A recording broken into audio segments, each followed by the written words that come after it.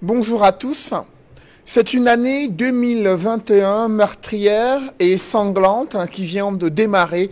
Une journaliste, Becky Njeme, et quatre soldats camerounais ont été tués lors de l'attaque d'un convoi de l'armée camerounaise qui escortait le préfet de la Momo de retour de la cérémonie d'installation du sous-préfet de Ndjikwa dans la région du nord-ouest. Cette explosion d'engins improvisés survenue sur le théâtre de la crise anglophone fait la une des journaux.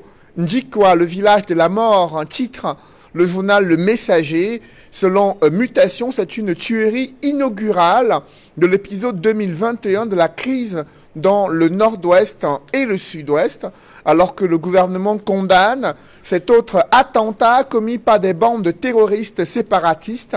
D'autres forces de sécurité et de défense ont été prises possibles au niveau du poste de contrôle de Matazem sur la route nationale numéro 6 à la frontière entre le département des Bamboutos et la région du nord-ouest. Selon des témoins, une horde d'individus armés a fait irruption dans ce poste de contrôle et a ouvert le feu. Bilan officiel, six morts, dont quatre éléments des forces de défense et de sécurité et deux civils. Ce week-end, c'est un responsable d'établissement scolaire public qui a été tué dans le nord-ouest par des séparatistes.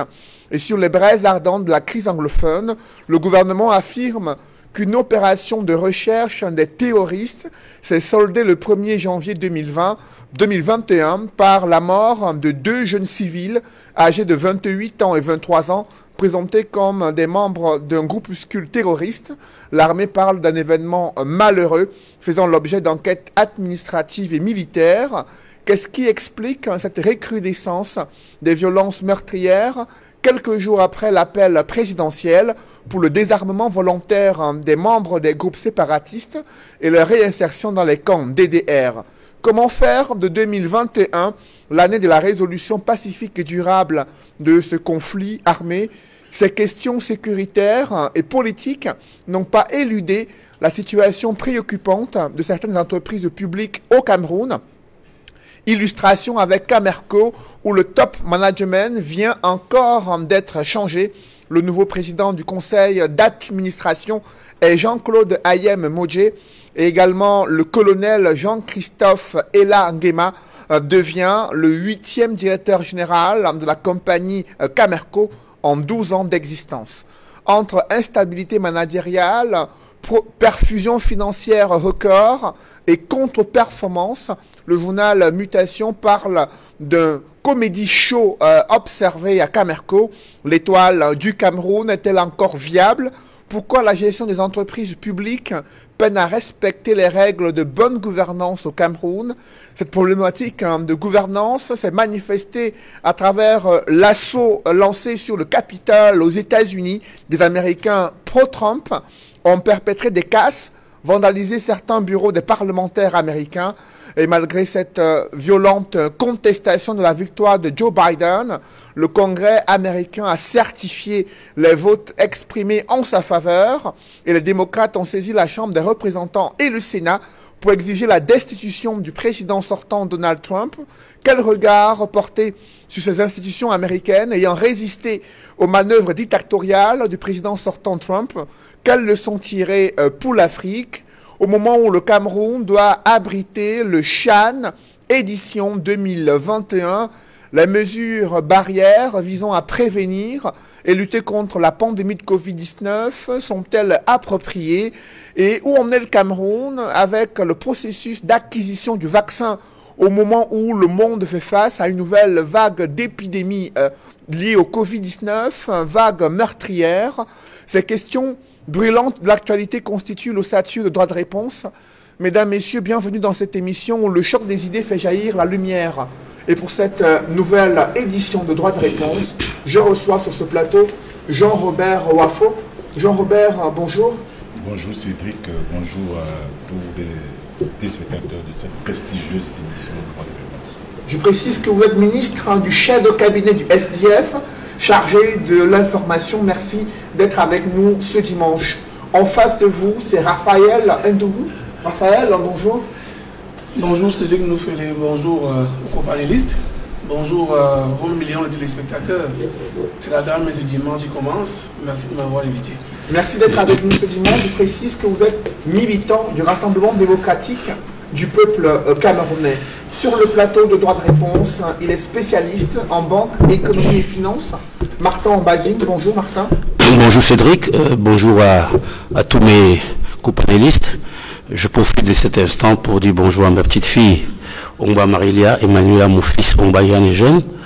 Je voulais aussi dire bonjour à des amis qui sont à côté de moi, Bonamou Sadi, Jojo, Joël Etamé et Alain Bulobidi, Didier. Je remercie également tous les téléspectateurs d'Equinox Télévision. Merci d'être avec nous ce euh, dimanche. Sur le plateau droit de réponse, il est éditorialiste quotidien, la nouvelle expression, consultant ce droit de réponse, Edmond Kambia. Bonjour Edmond. Bonjour Cédric Noufélé, je salue tous les copanélistes.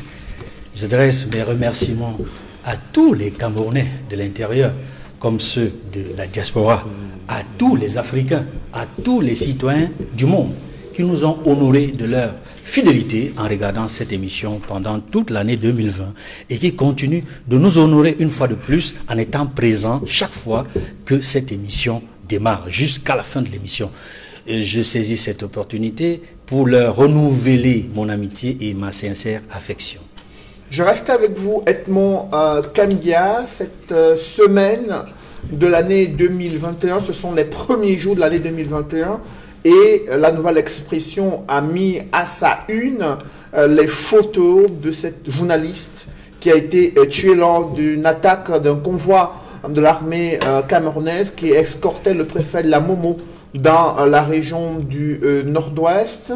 Comment avez-vous réagi à ces nouveaux attentats qui se multiplient dans cette partie du Cameroun? C'est nous c'est avec beaucoup de peine que personnellement euh, j'ai réagi, mais globalement, la nouvelle expression, à travers l'article que nous avons publié, et d'ailleurs, nous l'avons mis en manchette, parce que nous avons été très éprouvés, très touchés, parce que c'est une consoeur qui est en mission de couverture de l'installation des responsables, des autorités administratives, et qui, au retour, est prise vraiment dans une embuscade avec des autorités administratives et qui trouve la mort. Euh, je voudrais dire ici mes condoléances à la famille de notre consoeur décédée, qui était responsable départemental de la communication de, de, ce département-là, de la Momo. Et nous voulons également dire nos condoléances à tous ceux qui sont morts dans le cadre de cette embuscade-là. Et je voudrais dire ici et rappeler que nous n'avons cessé depuis quatre ans à dire la nécessité pour le Cameroun de tout faire au gouvernement comme aux bandes armées de ces deux régions, nord-ouest et sud-ouest, de taire les armes, de tout faire pour se retrouver et taire les armes, discuter, afin de parvenir à un cessez-le-feu.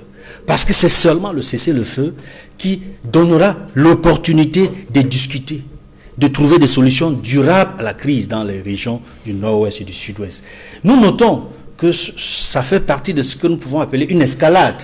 C'est l'année qui démarre avec de nouvelles attaques et elle n'est pas la première du genre, c'est la première, mais il y a eu une autre attaque qui est survenue quelques jours après. Donc c'est la semaine, une semaine difficile pour les Camerounais. Parce que en quelques jours à peine, on a une dizaine de morts dans deux attaques, dans les deux régions.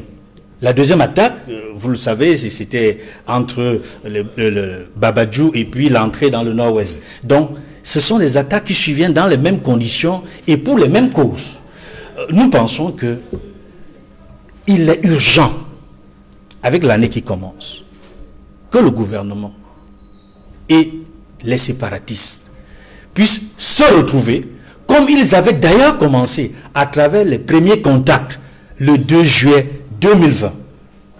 Et nous ne comprenons pas jusqu'aujourd'hui pourquoi ces rencontres ne se sont pas poursuivies.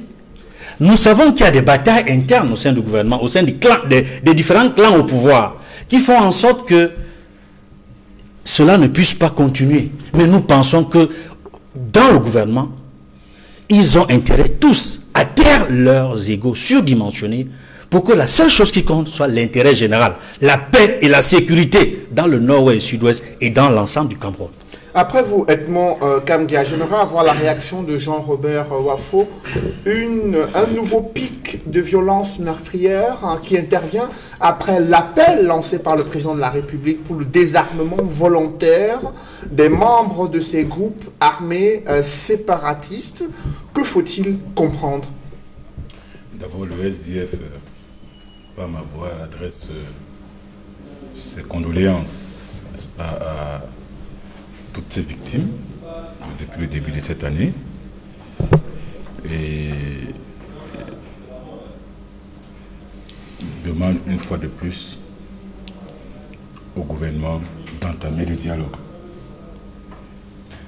Parce que le dialogue, ce n'est pas quatre jours. On allé au, au GDN, certes, ça ne voulait pas dire que le GDN pouvait résoudre, n'est-ce pas, le problème de la crise anglophone. Ce que je vais dire, c'est quoi? C'est que le gouvernement gagnerait à comprendre une chose. On ne décapite pas, c'est-à-dire on ne met pas fin à un mouvement sécessionniste en décapitant ses leaders. Dans le cadre d'une guerre civile, d'une guerre à l'intérieur d'un pays, où les citoyens, n'est-ce pas, euh, posent des actes violents, dans le cadre d'un mouvement sécessionniste, on dialogue. Et le dialogue doit être permanent. On a vu en Colombie, ça fait plus près de 20 ans de dialogue, 20-30 ans de dialogue. Et heureusement, la paix est revenue. Ce qui m'intéresse ici, par rapport euh, à ces morts, j'ai lu le communiqué du ministre de la Communication, où lui-même avoue qu'il y a une recrudescence des actes terroristes. Ça veut simplement dire quoi? Que l'option militaro-militaire n'a pas apporté la paix. C'est ce que ça veut dire. Interpréter autrement, c'est faire fausse route. Et le SDN n'a eu de cesse de dire il faut d'abord un cessez-le-feu. Et le cessez-le-feu ne veut pas dire que l'armée dépose les armes. Ou alors que nos forces de défense et de sécurité déposent les armes. Non, ça veut tout simplement dire qu'ils peuvent rentrer dans les casernes. L'armée peut rentrer dans les casernes.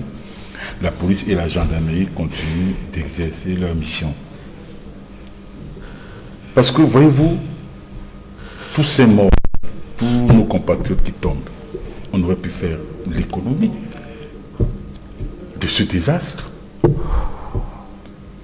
J'ai comme l'impression qu'on a même cessé, qu'on ne parle même plus du nombre total de morts, parce que euh, jusqu'en novembre, en, en octobre-novembre, on parlait déjà de plus de 3000 morts, de plus de 600 000 euh, déplacés internes, près de 60 000 réfugiés. Je ne sais pas à combien on peut chiffrer, n'est-ce pas, euh, ce que je viens d'énumérer à la date d'aujourd'hui.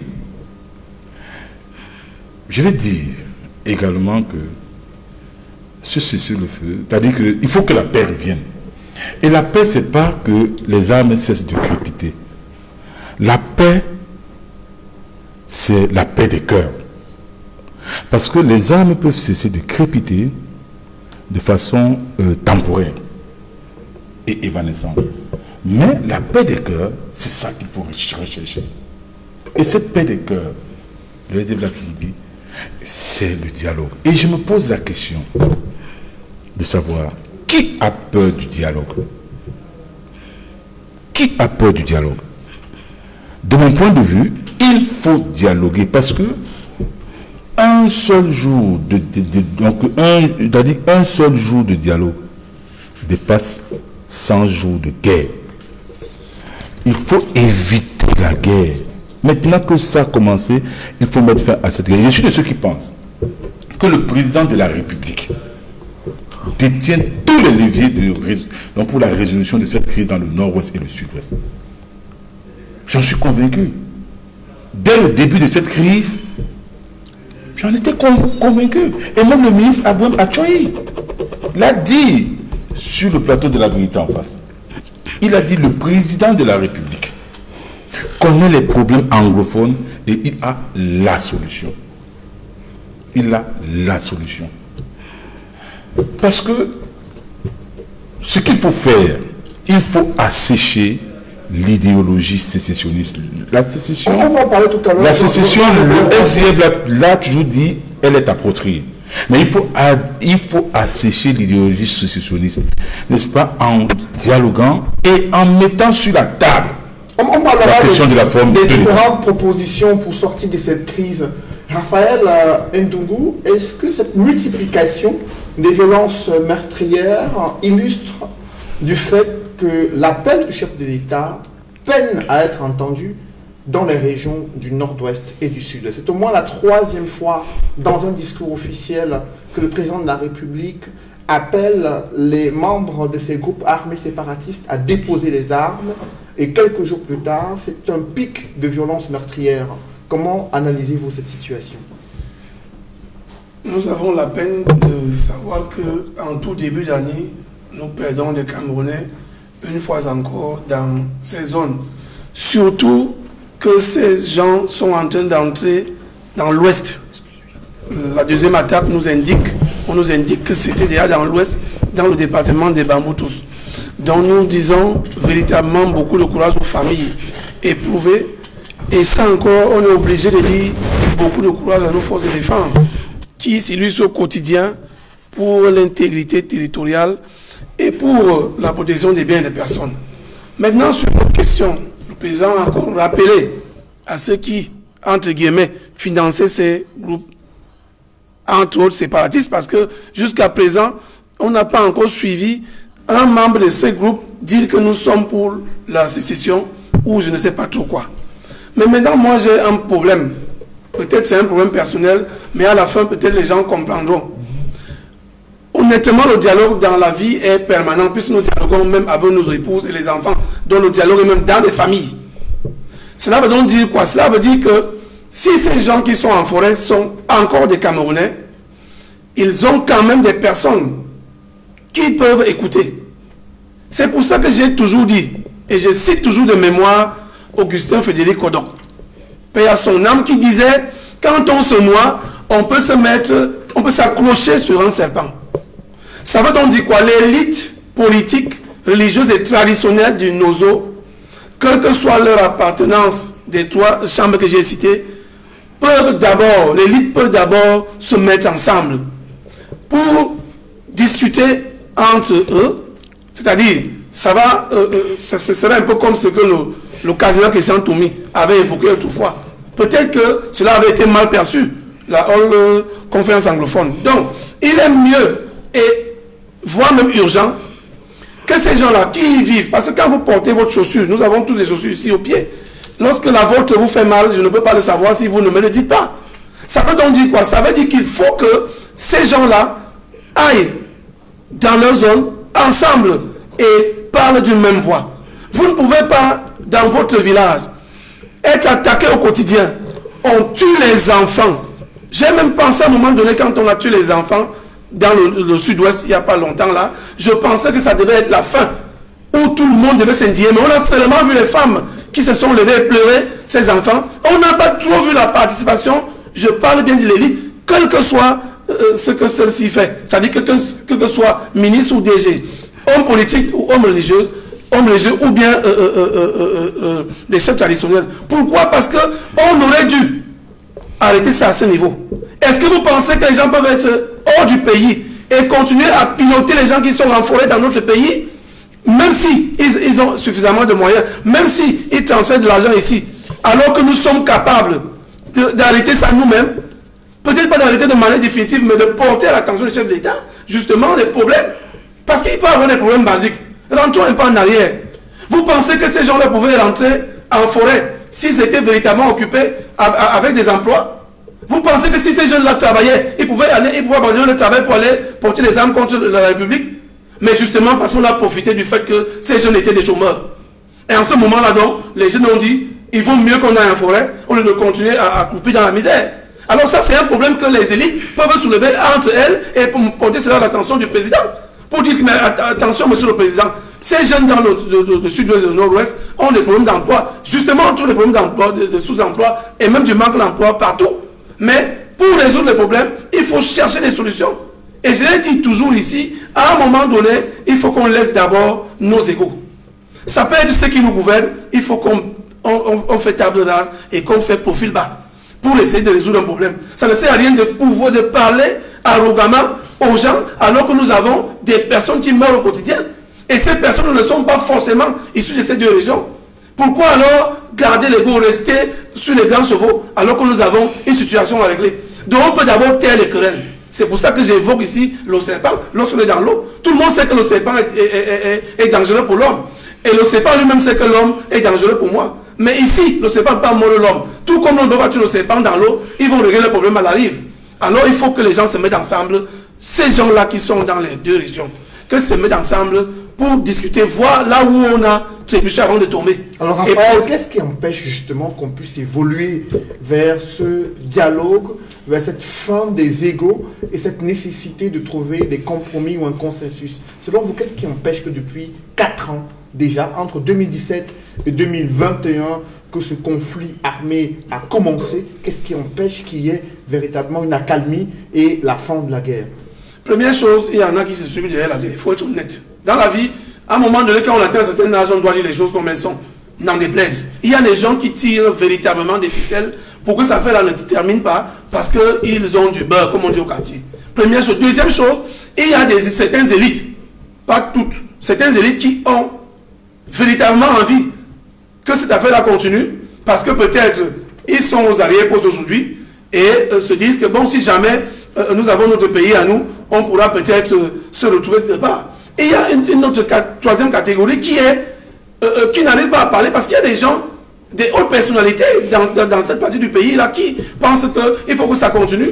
Au regard de la transition prochaine de notre pays, dit que vous voyez l'âge du président de la République aujourd'hui, de toutes les façons, beaucoup préparent déjà sa succession. Et quand on sait que euh, euh, peut-être on ne sera pas aux avant-postes demain, on, a donc envie que cette affaire-là prospère. Pourtant, il y a des possibilités.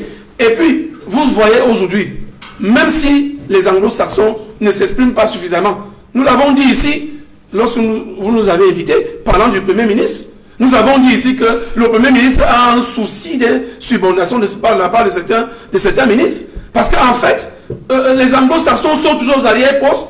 Et vous voyez le Premier ministre à la cinquième personnalité. Donc du coup, certaines élites pensent qu'il vaut mieux qu'on ait notre pays.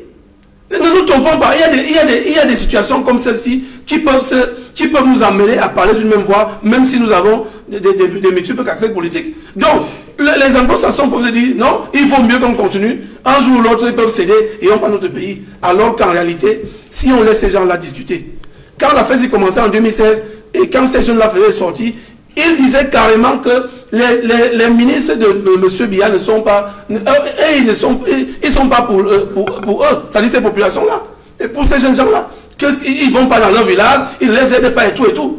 Donc, n'oublions pas ces, petits détails-là, qui peuvent, les petits détails peuvent nous aider à sortir de crise. Aujourd'hui, ça fait beaucoup d'argent que le Cameroun, le Cameroun perd. Ça fait beaucoup de Camerounais qui tombent au quotidien, qui soient de ces régions ou non. Donc, nous pensons que le dialogue doit commencer par ces élites elles-mêmes dans leur région. Après vous, Raphaël, euh, Martin Ambazine, quatre ans de conflit armé entre 2017 et 2021. Quel bilan en termes de dépenses budgétaires à la fois pour assurer la sécurisation de ces régions, mais également un bilan euh, économique euh, désastreux pour deux régions économiquement sinistrées. Quel bilan faites-vous? Le bilan, il est catastrophique. Du fait que cela nous a empêché de faire la croissance qu'on attendait. Vous savez que ces deux guerres, parce qu'il ne faut pas oublier Boko Haram et puis Boko Haram, le nord et le sud, doit représenter quasiment le premier employeur euh, du Cameroun, après l'État. Donc euh, au jour d'aujourd'hui, on se rend bien compte que ça n'a pas redémarré. Et euh, que ce soit au plan fiscal, vous savez très bien quand les gens ne travaillent pas, il n'y a pas de cotisation. Alors ce qui est plus important de, relever ici, c'est que on doit comprendre ô combien la paix est importante. Je crois que moi, de mon, de mon point de vue, il faut être très réservé par rapport à ce problème. C'est-à-dire que je, serai le dernier à m'avancer pour dire des choses que je ne maîtrise pas. Je pense que tout ce qui a été dit est important, mais je pense aussi que euh, nous devons parler du Cameroun sans oublier l'environnement dans lequel nous évoluons. Je parle géopolitiquement en parlant. Donc, euh, cette affaire n'est pas aussi simple que ça. Je pense que euh, nous avons compris que d'absence de dialogue, ou très peu de dialogue, euh, les élites qui doivent...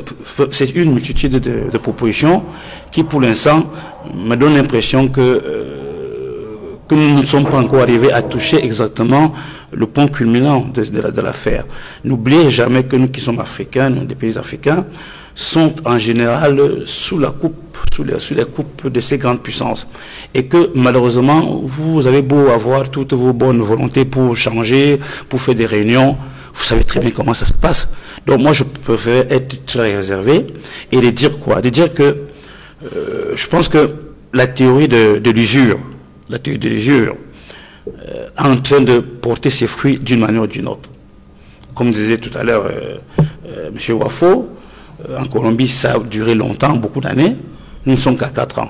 Mais ça n'empêche pas la Colombie d'évoluer, hein, de, continuer à travailler. Donc il faut comprendre donc aujourd'hui, ce qui me semble être très important, c'est que petit à petit, on s'achemine vers des choses qui permettent à chaque population de penser être un peu indépendante. Parce qu'en vérité, le problème, c'est pas l'économie, c'est c'est vrai que c'est important, mais sans la paix, il ne peut pas avoir de développement économique. Donc je ne peux pas me permettre de dire que euh, l'économie, ça va mal, ça va trop mal, ça va, trop bien, tant, tant que la paix n'est pas encore retrouvée. Mais nous constatons que cette paix-là, elle ne va pas être retrouvée comme, comme ça du jour au lendemain. Donc moi je pense que, un, ce qui est important aujourd'hui, c'est de dire qu'il y a eu la décentralisation, qui va donner un certain pouvoir économique aux régions, qui va leur permettre d'implémenter des stratégies nouvelles en termes de développement, et qui va certainement permettre petit à petit d'aller vers la paix.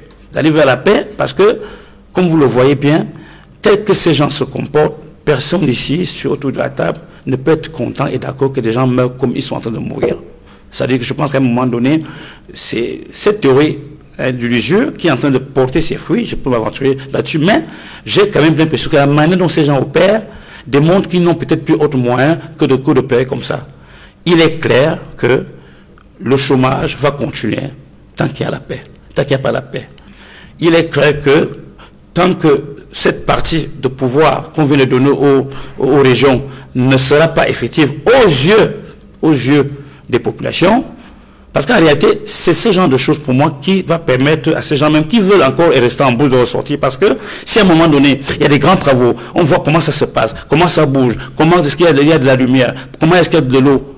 Je vous dis que les gens, tranquillement, vont reprendre confiance et l'économie va repartir. Donc moi, je pense qu'il y a ces, pré ces préalables-là qu'il faut, qu'il faut mettre en place. Mais je finis en disant que euh, il faut reconnaître, il faut le dire aujourd'hui, que malgré la guerre, malgré les deux guerres, le Cameroun reste un pays fort, économiquement parlant. Parce que si nous arrivons à faire aujourd'hui, nous escomptons faire en 2021 entre 2 et 3% de croissance, avant on en faisait 4 malgré, les guerres. Vous savez très bien combien coûte par, mois la guerre au NOSO. Donc quand vous prenez ce panier d'argent là tous les mois, en fait c'est plus d'une dizaine de milliards que l'État à moyen dépense tous les, tous, tous, tous les ans pour cette guerre. Ça veut dire que nous sommes déjà à pratiquement plus, plus de 50 milliards de dessous qu'on a dépensé pour cette guerre. Donc pour moi, il est évident que une fois que les choses vont, comme c'est le cas aujourd'hui, s'apaiser et que le transfert matériel hein, et humain de la décentralisation sera effectif, je pense que les choses vont aller de mieux en mieux. Après vous, euh, Martin Mbazing, Edmond Kandia, est-ce que vous avez la même perception sur une situation qui s'apaiserait dans le nord-ouest et le sud-ouest au regard de ces derniers événements enregistrés euh, euh, dans cette partie du Cameroun. Est-ce qu'on va vers une accalmie plus importante et que ces différents euh, attentats enregistrés ici et là ne seraient que quelques coups euh, lancés par des groupes séparatistes qui sont acculés dans leur dernier retranchement? Nous pensons que ces dernières attaques sont un message ceux qui l'ont fait adressent aux autorités gouvernementales. N'oubliez pas que le dernier discours à la nation, celui du 31 décembre, en relation avec la guerre dans le nord-ouest et le sud-ouest, n'était pas un discours d'apaisement. c'était un discours assez dur. C'était un discours, je le dis bien, assez dur, aussi bien vis-à-vis euh, de, des Ambazoniens, puisqu'il faut les appeler par leur nom, c'est comme ça qu'ils se désignent eux-mêmes, que vis-à-vis de, certains partenaires du Cameroun, notamment les partenaires occidentaux. Parce que le chef de l'État a précisé, a nommément indiqué qu'il est important que les donneurs d'ordre soient identifiés et que ces pays-là qui les hébergent puissent faire en sorte que on puisse avancer en mettant la main sur ces donneurs d'ordre. Je, je disais ainsi pour faire mieux comprendre ce qui est en train de se passer quand je parle d'un message. Parce que ce n'est pas anodin qu'il y ait deux attaques successives à pratiquement en une semaine, en quelques jours. Je pense qu'il faut le prendre très au sérieux. C'est une nouvelle escalade. Et quand ça commence au début d'une année, cela nous rappelle une ou deux choses. La première chose, c'est que lors de la dernière Assemblée générale de l'ONU, le secrétaire général Antonio Guterres a élargi, a donné un nombre de jours plus important à tous les pays en conflit, où les partis gouvernementales et les groupes armés ne seraient pas parvenus à un cessez-le-feu. Il a étendu la pause humanitaire durable, qui était au départ de 90 jours, jusqu'au 31 décembre, jusqu'à la fin de l'année. Et le Cameroun fait partie des pays qui n'ont pas pu atteindre, parvenir au cessez-le-feu à la fin de l'année. Et quand il y a de nouveau l'escalade, la violence, je dois dire ici que tous les groupes et armées, tous les groupes sé- séparatistes n'étaient pas pour qui n'étaient pas pour que la guerre continue sur le terrain. Il y a certains groupes bien identifiés par les Nations Unies qui avaient exprimé leur volonté de taire les armes et qui ont même tué les armes. C'est-à-dire que qui n'ont plus continué les actions sur le terrain. Ces groupes sont identifiables. Mais il y a une bonne partie qui a continué la lutte face aux forces de défense et de sécurité tant qu'en face, la pression allait continuer à monter. J'ai l'impression, quand je donne ces détails, que le fait que les discussions préliminaires, je le rappelais au début de mon propos, qui n'ont pas continué, parce que c'était très attendu. Lorsque la partie gouvernementale a rencontré Tabe Sisikou et ses camarades, qui sont aussi bien à la prison principale de Kondengui qu'à la prison centrale de Kondengui, ça avait été très apprécié, tant au niveau de la société civile, des partis politiques, que de la communauté internationale, qui y voyait une lueur d'espoir. Qu'à travers ces discussions-là, on allait suffisamment évoluer et parvenir à un cessez-le-feu. Mais que non. Il y a eu, je tiens toujours à le rappeler, un communiqué du ministre de la Communication à l'époque, qui a laissé penser que tout ce qui se disait au sujet de cette rencontre n'était pas conforme à la réalité. Ça a créé une sorte de confusion générale, ça a laissé une mauvaise image de ces discussions préliminaires et donné l'impression que le gouvernement n'était pas sincère dans sa démarche. Or, je suis certain que le chef du gouvernement, le premier ministre chef du gouvernement, et une bonne partie de la partie gouvernementale qui est allée discuter avec l'une des branches sécessionnistes, notamment avec Tabe, était sincère. Malheureusement, il y a d'autres camps, je le répète toujours, au sein du gouvernement ou au sein du régime, qui n'est pas toujours favorable à cette façon de discuter de manière directe. Et c'est pour cela que tout à l'heure, j'ai entendu parler du business de la guerre. En réalité, il existe des entrepreneurs de la guerre dans tous les camps, aussi bien au sein du régime que dans les groupes et bandes armées. Les entrepreneurs de la guerre qui profitent de la guerre, qui y ont trouvé une opportunité de s'enrichir. Et c'est un problème réel qu'il faut combattre si nous tenons à ce que cette guerre prenne fin. La deuxième chose, c'est que à travers cette nouvelle escalade de la guerre, il y a un second message. Et ce message-là est adressé directement au président de la République, qui, il, qui, il faut le rappeler, avait déjà dit lors d'une assemblée générale de l'ONU qu'il est un mendiant de la paix. On ne peut pas être à la fois un mendiant de la paix et être à la fois un fossoyeur de la paix. Pourquoi je le dis? C'est vrai que les autorités ont cette possibilité de manier la carotte et le bâton, mais si on est véritablement un mendiant de la paix, on doit suffisamment démontrer qu'on est sincère, qu'on a de bonne foi et qu'on est prêt à tout, y compris comme, y compris comme euh, l'ancien président de Colombie, qui a réussi à faire cesser plus de 50 ans de guerre, tout simplement en discutant, en négociant, en trouvant un consensus avec les FARC les forces, les forces armées rebelles de la Colombie. Mais les Camerounais ne savent plus où donner de la tête. Le président de la République le 31 décembre dit le gouvernement a montré sa bonne foi, a exprimé sa bonne volonté euh, d'être disponible à la fois pour le dialogue et en libérant certains ex-séparatistes. Il fait mention de cette libération qui avait été faite en 2019, 2020, Plusieurs organisations ont demandé à ce qu'il y ait une libération d'autres acteurs clés de la crise, mais cela n'a pas été fait. Finalement, dans ce jeu du chat et à la souris, euh, Edmond Kamgia, qui veut dialoguer, qui ne veut pas dialoguer, quels sont les objectifs, pourquoi les principaux acteurs se regardent toujours en chien de faïence? Les principaux acteurs se regardent toujours en chien de faïence parce que d'un côté comme de l'autre, tous sont méfiants.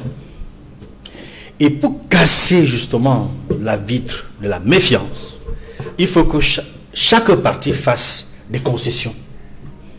Et je dois dire et le répéter ici, cela n'a jamais été une faiblesse pour un gouvernement ou pour un régime d'accepter un dialogue inclusif. C'est-à-dire un dialogue avec les principaux concernés par la guerre ou par la crise. Parce que jusqu'aujourd'hui, c'est vrai que nous avons eu un grand dialogue national. Mais à l'issue de ce grand dialogue national, on a bien vu que ce dialogue était insuffisant pour parvenir à une résolution durable de la crise.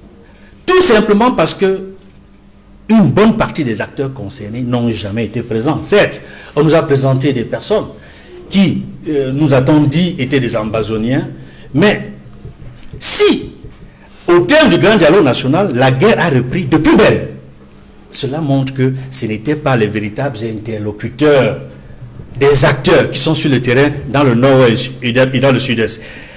C'est pour cela que depuis plusieurs mois, nous réitérons la nécessité d'un dialogue inclusif avec tous ceux-là qui sont directement concernés. Mais pour qu'ils soient associés, pour qu'ils participent à ce dialogue, il me semble qu'il y a un certain nombre de choses que le gouvernement devrait faire pour les rassurer. Et ils l'ont dit, Sissi Koutabé l'a dit, il a demandé l'opportunité d'une amnistie générale ou d'un dialogue dans un cadre qui pourrait les rassurer en face de médiateurs africains ou internationaux.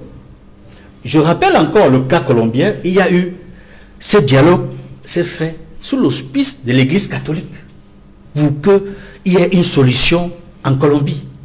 Et le président colombien de l'époque a eu le prix Nobel de la paix. Parce qu'il a réussi où, là où tous ses prédécesseurs avaient échoué.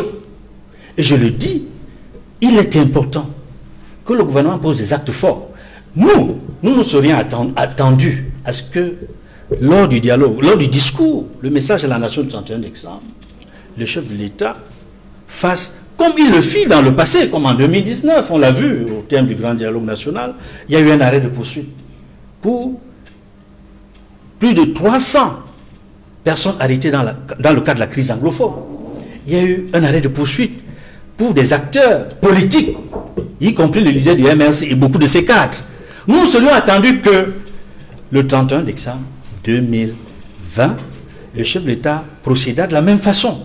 Parce qu'il y a encore des personnes, plusieurs centaines de personnes, qui ont été arrêtées depuis 4 ans dans le cadre de la crise que nous connaissons dans le nord et le sud-ouest, beaucoup d'entre eux n'ont jamais été jugés.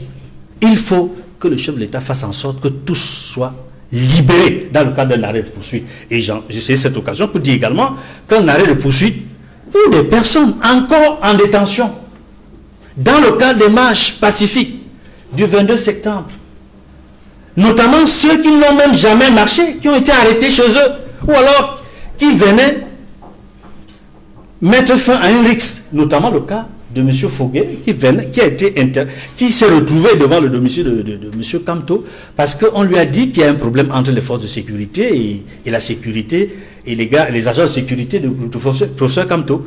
Et il a été embarqué, ça ressemblait à une embuscade. Il y a le porte-parole de Maurice Camto, qui a été arrêté chez lui, qui n'a même jamais marché. M. Foguet n'a jamais marché. Et ils sont nombreux comme ça qui n'ont jamais marché. Ou alors quelques-uns qui ont marché, mais qui n'ont jamais été libérés dans le cadre de ces marches pacifiques. Je dois préciser et rappeler que le comité d'experts des droits de l'homme de l'ONU avait demandé, il y a plusieurs semaines de cela, une, une des choses qu'ils avaient demandé a été respectée, c'est-à-dire qu'il fallait libérer totalement le domicile de professeur Maurice Camto, libérer toutes les personnes arrêtées dans le cadre de cette crise, mais toutes les personnes n'ont pas été arrêtées. Donc sur le plan politique, il y a des actions, des gestes forts Paul Biya devrait faire. Justement, en l'absence des gestes d'ouverture, euh, comme l'a préconisé le président Emmanuel Macron à l'endroit du chef de l'État, Jean-Robert Wafo, après euh, quatre ans de crise, euh, quatre ans de guerre dans le nord-ouest et le sud-ouest, est-ce qu'il y a une lueur à travers les actes posés par le gouvernement camerounais? D'aucuns s'attendaient à l'accélération d'une décentralisation, la mise en place de ce statut spécial avec des précisions claires sur ses spécificités et les avantages que pourraient avoir les régions du nord-ouest et du sud-ouest. Est-ce que vous avez une perception d'un horizon euh, plus clair et euh, plus prospère pour ces régions?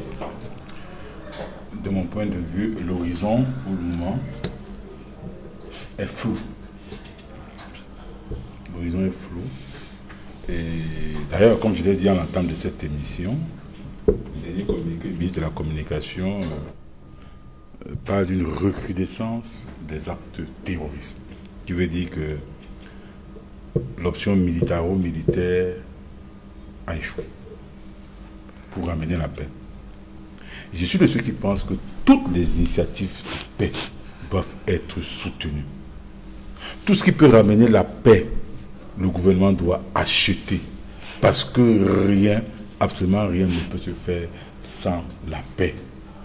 Vous avez parlé euh, de l'aspect économique. Mais je vais dire une chose. Vous construisez un immeuble, je ne sais pas, je prends un exemple simple de 500 millions. Mais un bandit, avec moins de 700 francs CFA, c'est-à-dire il achète un litre d'essence et une boîte d'allumettes, il vient vous mettre ça au sol. C'est pas ça, monsieur Ombazi. Ça veut dire que il faut qu'il y ait d'abord la paix. Et je vais dire une chose. Nos compatriotes anglophones,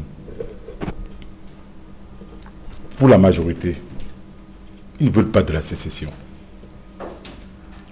Je dis pour la plupart. Ils ne veulent pas non plus de cette décentralisation qui a échoué.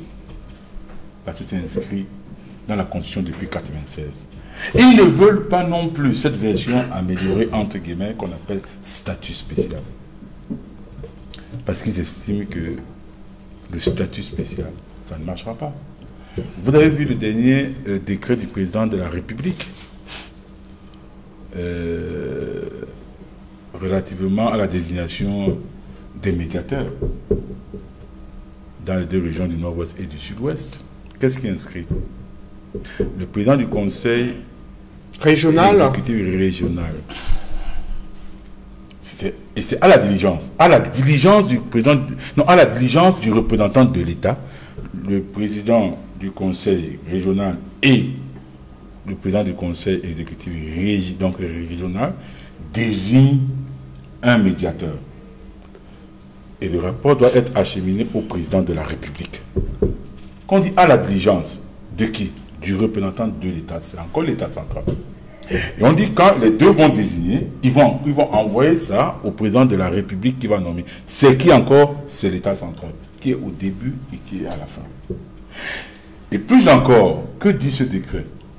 Donc ça c'est l'article 5, ce que je viens de dire. L'article 10 dit, en cas d'empêchement du médiateur, pour cause peut-être de nomination à notre poste euh, qui est incompatible, d'essai et tout, le président du conseil régional et le représentant de l'État, et c'est tout. À la diligence du représentant de l'État, dresse une liste de personnes pouvant être des médiateurs et transmet, et transmet cette liste. Au représentant de l'État, le chef de l'État, et à, et à qui il incombe de choisir qui dans cette liste peut être médiateur. Alors, quand, il- quand il y a des choses comme ça, En quoi ça pose problème qu'il y ait ce droit de regard problème. et cette Ça- dernière décision qui doit être prise par le chef de l'État? Non, mais le problème, c'est que l'État central est au début et à la fin. On dit à la diligence du représentant de l'État. Allez lire ce décret. C'est vrai que c'est dans le, code- dans le statut spécial, mais on dit à la diligence. Ça veut dire qu'il peut rester là, il, bon, il dit OK. Tant qu'il n'engage pas ce processus, personne ne peut rien. Même le conseil exécutif régional ne peut rien, le président du conseil ne peut rien. Voilà les problèmes. Et quand vous avez parlé du statut spécial, pourquoi voulez-vous qu'il croit en ça, Emmanuel, quand dans ce statut spécial, il est mentionné que le sous-système éducatif et le sous-système judiciaire anglophones feront l'objet de lois spécifiques. C'est dans le Code général des collectivités territoriales décentralisées, parlant du statut spécial. Où sont passées ces lois? Donc, où sont passées euh, euh, euh, où, donc, où est-ce qu'on a mis? N'est-ce pas? Où sont passées ces lois qui devaient, n'est-ce pas, encadrer le nouveau sous-système éducatif, le nouveau sous-système judiciaire? Qu'est-ce qui peut justifier cette lenteur? Vous avez parlé de la décentralisation, monsieur, monsieur Ombazi. Moi, j'ai été élu. J'étais un élu, j'ai palpé ça du doigt, des doigts. Et j'ai pas été surpris quand, à la faveur du budget de 2021, plutôt que de transférer 15%, n'est-ce pas, du budget de l'État aux collectivités territoriales décentralisées, on n'en est qu'à 7 et 7% hypothétique. Il faudrait encore chercher ça. Regardez les conseils régionaux, notamment les conseils exécutifs régionaux. Le personnel d'appui, qu'est-ce qu'on attend pour les nommer? Et je rappelle, s'agissant de ces conseils exécutifs régionaux, ou alors des conseils régionaux, le ministre des Finances, lui au moins, il a eu le mérite d'anticiper pour nommer les receveurs. Ils ont été nommés. Mais est-ce que les secrétaires généraux de ces conseils régionaux ont été nommés? Vous voulez que j'aille plus loin? En principe, les sessions de plein droit sont illégaux. Le rapport, qui a, fait le rapport? Parce que celui qui est tenu de faire le rapport des sessions, parce qu'une session de plein droit, c'est une session, c'est le secrétaire général. C'est il transmet ce rapport à qui de droit, c'est-à-dire euh, au, ministre de la décentralisation. Qui a fait, n'est-ce pas, ce rapport Ce rapport de la session de plein droit. Qu'est-ce qu'on attendait pour nommer les secrétaires généraux Comme le ministre des Finances a anticipé en nommant les receveurs généraux. Donc les, receveurs et des régions. C'est pour vous dire qu'il n'y a pas une réelle volonté. Je ne sais pas si au sommet il y a une volonté politique, mais j'observe que tout est mis en œuvre pour créer des blocages. Et là, s'agissant justement du déblocage de cette crise, qu'est-ce qui empêche le président de la République de recevoir, de convoquer pour les leaders de partis politiques, la société civile, les membres du clergé, il les reçoit à Etoudi, devant les caméras, et qui n'ont tout le monde est là. Quand ils entrent, ils s'enferment. Un peu comme il fait avec euh, les émissaires d'autres pays. Il parle et puis à la fin, bon voilà, soit le même soir, soit le lendemain, il fait un discours à la nation où il indique qu'il il met en mission de bons offices ceux qu'il a reçus à l'effet d'aller rencontrer, n'est-ce pas, nos compatriotes, parce que je ne parle pas encore des ambassadeurs, je parle de nos compatriotes pour la résolution de cette crise. Il est mis en mission de bons offices sous la coordination du Premier ministre. Ce geste présidentiel va créer un déclic formidable. Parce que je me rappelle, quand le Premier ministre chef du gouvernement, moins d'un mois, moins de deux mois après sa nomination, a pris celui de descendre dans les deux régions du nord-ouest et du sud-ouest. Ou dans le nord-ouest, par exemple, il a rencontré une délégation du SDF qui était conduite par le chairman Nijan Fondi. Il a déclaré qu'il est porteur d'un message présidentiel sur la tenue prochaine, sur la tenue prochaine d'un dialogue national qui portera surtout également sur la forme de l'État, mais sauf sur la sécession. Ça crée un espoir terrible et une espérance terrible qui a jailli, non seulement du côté des, populations des deux régions du Nord-Ouest et du Sud, mais également du reste. Est-ce que la crispation du climat sociopolitique dans le Nord-Ouest, Sud-Ouest serait liée au refus de mettre sur la table du dialogue la question de la forme et la nature de l'État? Je vous ai dit, il ne croit plus à la décentralisation, il ne croit plus au statut spécial. De ce qui me revient. J'ai au moins la chance que quand je sors de ce plateau, ou bien quand je marche en route, ou alors les appels que j'ai, en offre, ils me disent, la seule chose qui peut faire que nous nous demandions à ceux qui veulent la sécession d'arrêter, c'est qu'on dépose le fédéralisme. Parce qu'il ne faut pas oublier une chose. Vous avez parlé euh, de l'ordre protocolaire. vous avez dit sur sept euh, euh, hautes autorités de l'État, il n'y a qu'un seul anglophone.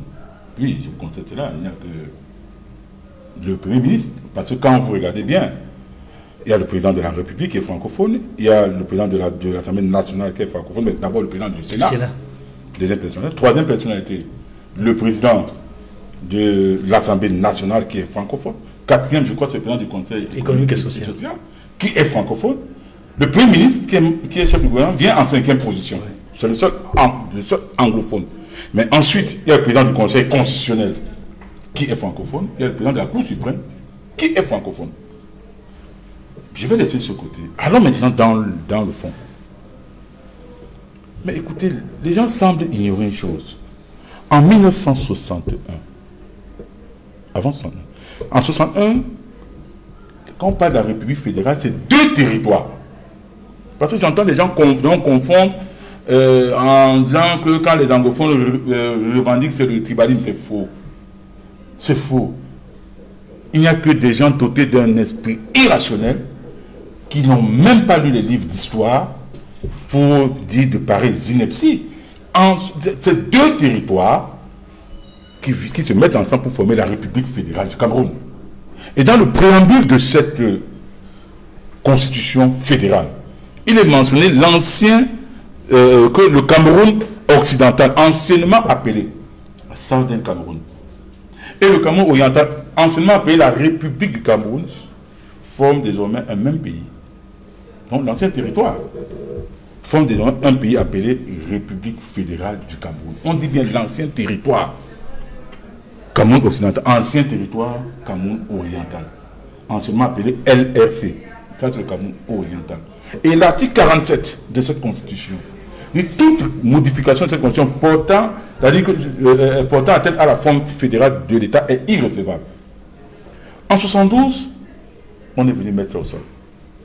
En 84, deuxième braquage. En 72, on passe de la, République fédérale à la République unie. Les gens, les langues commencent à se délier. Mais en, 84, on passe de la République unie à la, République du Cameroun, rejoignant ainsi l'ancienne dénomination du Cameroun oriental euh, français qu'on appelait la République du Cameroun qui a eu son indépendance en 1960. Le premier, le premier 1960. Mais pourquoi Mais attendez, pourquoi ne voulez-vous pas qu'ils se sentent davantage frustrés? Non. Il faut d'abord revenir à cela.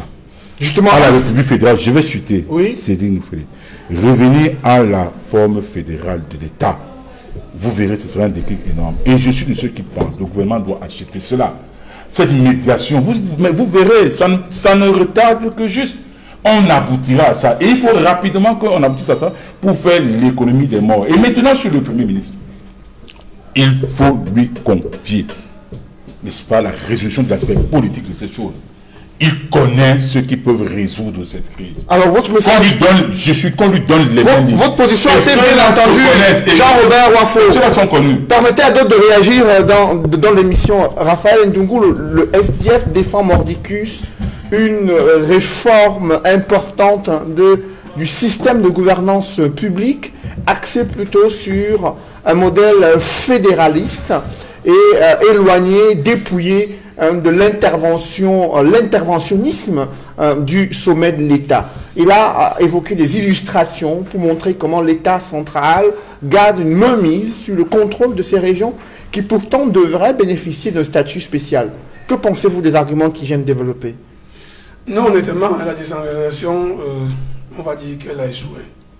Elle a échoué. Parce qu'on a payé plus d'une vingtaine d'années pour en arriver là. Et on a même mal à partir avec euh, euh, euh, cette dissociation du pouvoir. C'est-à-dire que cet abandon du pouvoir qui est tenu par, par Yaoundé, si on va dire ça comme ça. Parce que, honnêtement, quand vous avez une route en Gotitunja, et qu'on doit l'habituer, il faut aller tout passer, il faut aller passer tous les marchés à Yaoundé. Parfois même le prestataire n'a même jamais mis pied en Goditouja. Donc il ne connaît même pas les routes là-bas. Pourtant, si ça se passait dans le, nord-ouest, tranquillement, le prestataire peut-être qui y vit va aller en Goditouja pour toucher du doigt les réels problèmes et pouvoir véritablement faire une bonne étude. C'est juste un exemple.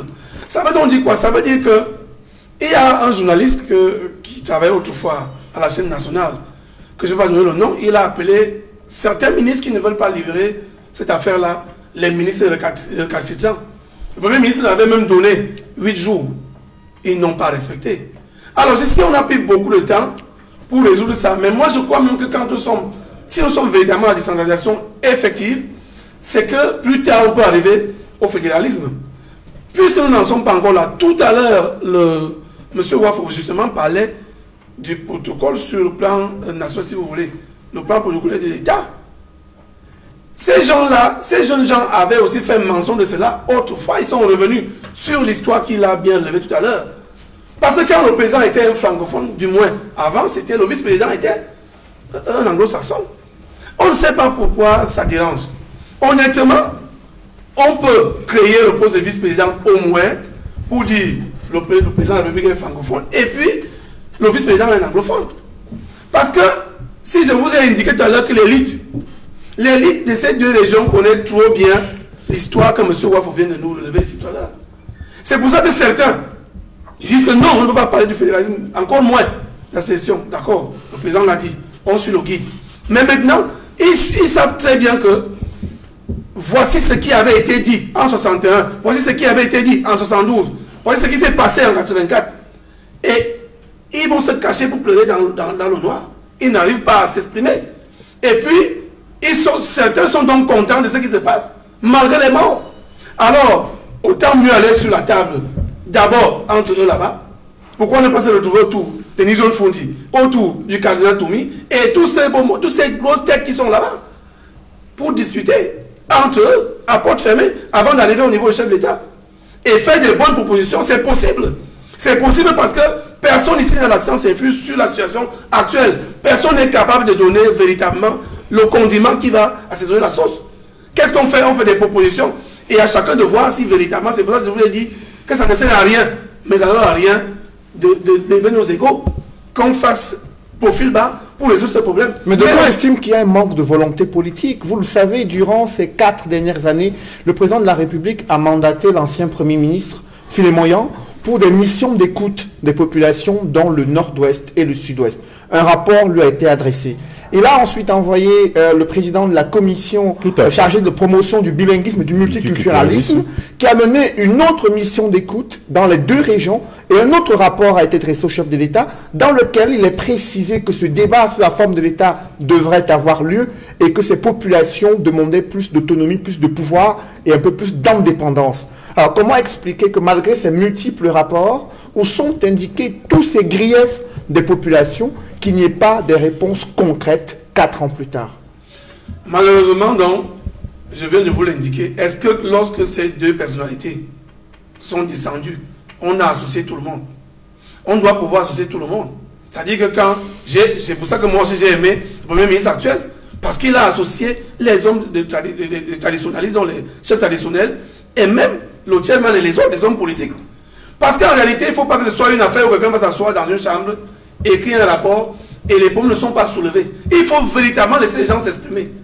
C'est-à-dire que entre eux là, si je vais dire ça ici, ces, ces ressortissants des deux régions s'expriment véritablement, même si ça prend une semaine.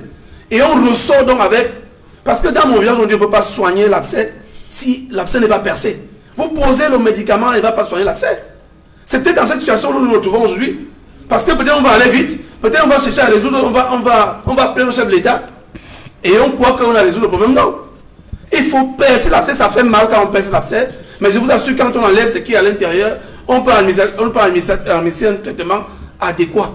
Donc nous pensons qu'ici, parce qu'actuellement les jeunes gens qui vivent au quotidien avec les populations de ces deux parties, qui en journée sont des Camerounais, et dans la nuit, ils se transforment. Ils sont bien connus. Parfois, ils n'ont même, pas la force, la possibilité de dénoncer ce que c'est lui qui passe là. C'est un, un amabol. Ils sont avec eux au quotidien, ils vivent ensemble. Et c'est peut-être pour ces raisons que je crois que, au sortir de la discussion entre eux là-bas, on va donc procéder si les récidivistes continuent à rester en forêt. Ça veut donc dire qu'ils ne veulent aucun arrangement. Mais je voudrais, je voudrais vous dire, celui qui a pris la parole au grand dialogue avait indiqué qu'à l'ENA, il y avait peu d'anglophones. Je crois que le président a très rapidement créé, euh, euh, euh, résolu ce problème au niveau de l'ENA. Mais il y a d'autres problèmes. Ils ont dit, même dans les ministères, les anglophones sont toujours aux arrières, si vous voulez, en seconde position. Que, à un moment donné, on voit quand même les anglophones, les anglophones qui sont nommés. Et si ça va résoudre tout le problème, il faut donc que les gens se mettent ensemble.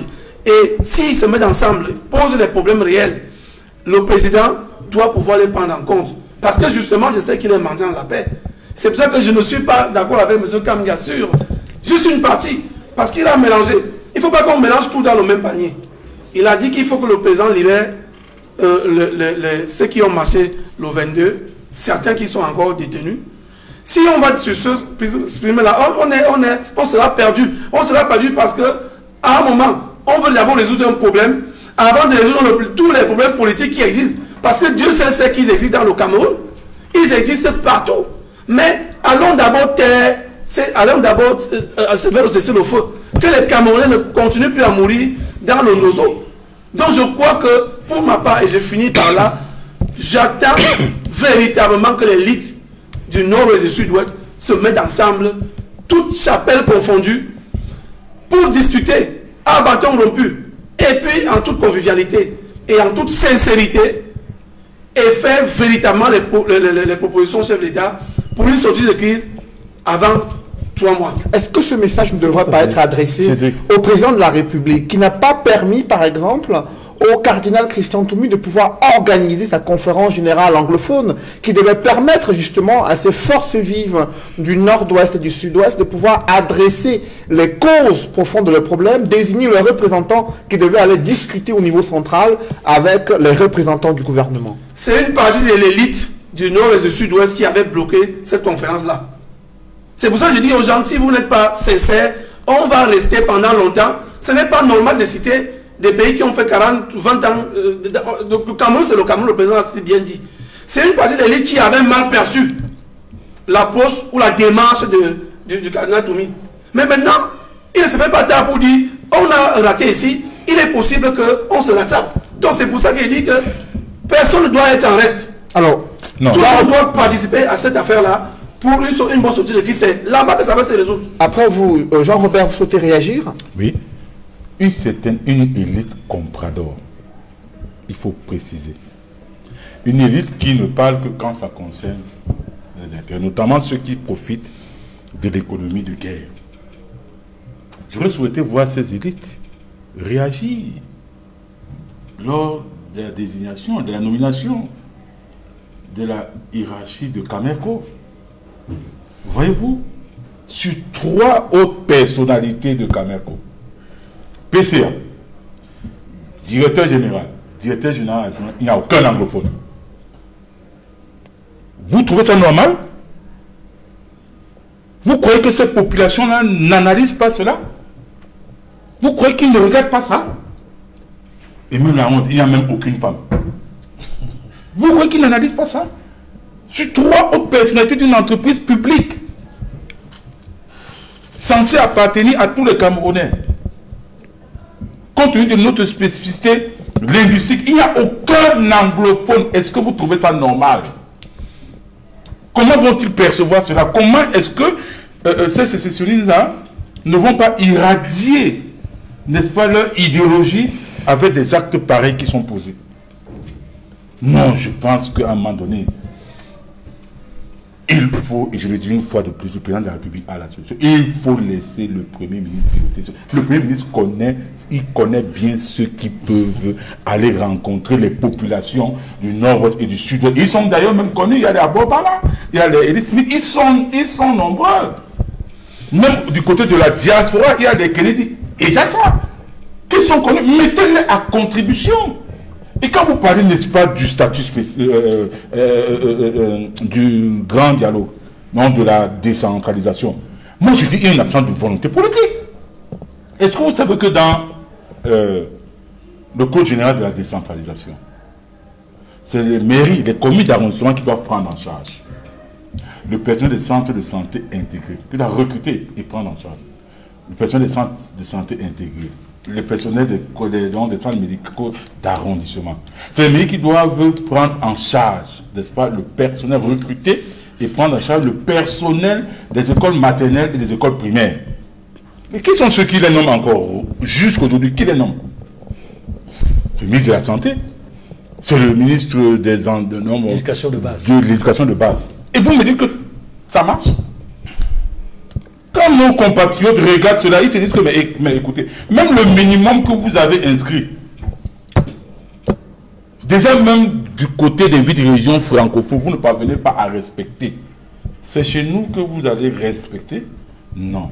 Je suis de ceux qui pensent qu'il y a des actes qui doivent être posés. Les actes qui vont dans le sens de la paix. Je l'ai dit, toutes les initiatives de paix doivent être achetées. Alors, alors pendant, pendant que ces actes euh, tardent à être posés, Edmond Kambia, il y a la communauté internationale hein, qui manifeste son impatience euh, face euh, à l'enlisement de la crise dans le nord-ouest et le sud-ouest. Après la résolution euh, adoptée par le Sénat américain, il y a plusieurs autres parlementaires américains qui ont rédigé un communiqué adressé à l'administration, la future administration Biden, qui va prendre officiellement le pouvoir dès la fin du mois de janvier 2021. À quoi faut-il s'attendre dans les tout prochains mois? Euh, d'abord, avant de répondre à cette question, je voudrais dire à M. Indougou, qui m'a repris tout à l'heure euh, sur une de mes sorties, qu'il y a un lien. Je voudrais lui dire qu'il y a un lien entre la crise politique et la crise anglophone. Le lien direct entre la crise anglophone et la crise politique, en relation avec les marches pacifiques, c'est que les personnes qui ont été interpellées dans le cadre des marches pacifiques avait deux motivations, qui sont d'ailleurs partagées par d'autres formations politiques de l'opposition, dont le SDF. Ces deux points sont l'interpellation du gouvernement pour qu'il fasse tout pour qu'il y ait la fin de la guerre dans le nord-ouest et le sud-ouest. Le deuxième point, c'est la réforme consensuelle du système électoral. Donc, l'un des deux points, c'est que c'est tout faire pour mettre fin, mettre fin à la guerre dans le nord et le sud-ouest. Donc, la plupart de ces personnes qui n'ont même pas marché, qui pour certains ont marché, sont encore en détention depuis septembre parce qu'ils ont revendiqué la fin de la guerre dans le nord-ouest et le sud-ouest. C'est pour cela que je, tenais à préciser qu'il y a un lien entre la crise politique et la crise le nord-ouest et le sud-ouest. Maintenant, pour répondre à la question de M. Noufele, nous sommes pratiquement à environ 10 jours de l'entrée en fonction de l'investiture du président élu Joe Biden aux États-Unis. Nous savons que lorsqu'il va prendre ses fonctions, un certain nombre d'actions vont être menées par la Maison-Blanche en relation avec les dossiers chauds dans le monde entier, mais aussi en Afrique. Et j'ai déjà eu à le dire ici sur ce plateau que parmi les dossiers chauds que la future administration américaine va prendre en main, il y a le dossier la crise anglophone au Cameroun. et même la crise politique. Et j'établissais tout à l'heure un lien entre les deux. Parce que si on ne résout pas les deux crises, il n'y aura pas la paix au Cameroun, il n'y aura pas la sécurité au Cameroun. En tout cas, en ce qui concerne la crise politique et la crise anglophone, qui est devenue la guerre depuis 2017 dans le nord-ouest et le sud-ouest. Maintenant, à quoi faut-il s'attendre Après une série de résolutions que nous connaissons, qui ont été adoptées euh, au, Congrès américain. Je dois rappeler une vieille résolution, qui n'est pas récente, qui avait été adoptée au Congrès américain, notamment sur la forme de l'État, en tenant compte de l'évolution de la situation dans le nord-ouest et sud-ouest, des revendications faites par les séparatistes et par des activistes, le Congrès américain avait adopté une résolution suggérant la forme de l'État qu'on appelle le fédéralisme comme solution pour les régions du nord-ouest et du sud-ouest. Ça, c'est un rappel qu'il convient de faire, que le Congrès américain s'est déjà prononcé sur la forme de l'État en termes de suggestion. Et cette suggestion rejoint la plupart des rapports de mission menés sur le terrain par des anciens premiers ministres, notamment Yann Filemon, notamment Peter Mafani Moussongue, qui y allait en tant que président de la commission du bilinguisme et du multiculturalisme. Rappelez-vous, la commission Moussongue avait même fait publier dans les journaux, y compris la nouvelle expression, son rapport de mission, qui montrait que les populations du Nord-Ouest et du Sud-Ouest veulent le fédéralisme. C'est clair. Ça avait été publié, diffusé, le rapport de la commission Moussongue.